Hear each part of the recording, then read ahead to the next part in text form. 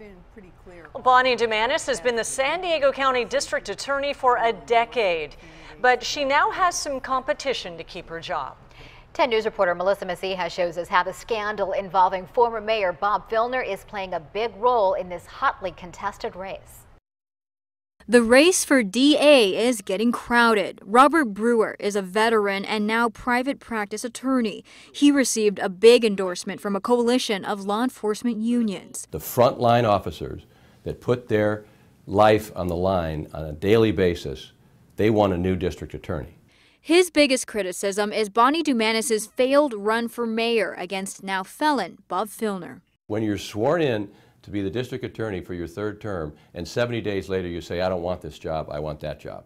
I mean, she telegraphed that it's time for a new district attorney better than anybody. Dumanis later endorsed Carl DeMaio. She recused herself during Filner's criminal investigation earlier this year.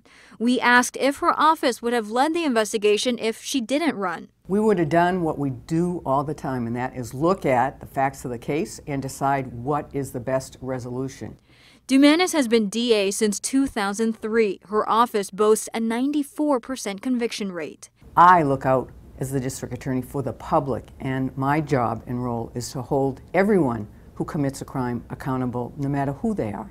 Now, a third candidate has joined Terry Wyatt, a career prosecutor who also criticized her former boss's mayoral run. She focused her career as district attorney on city politics and on the mayor's race. While Dumanis and Brewer's names have been in the headlines for some time, Wyatt isn't worried. I literally am the career prosecutor um, and not a politician.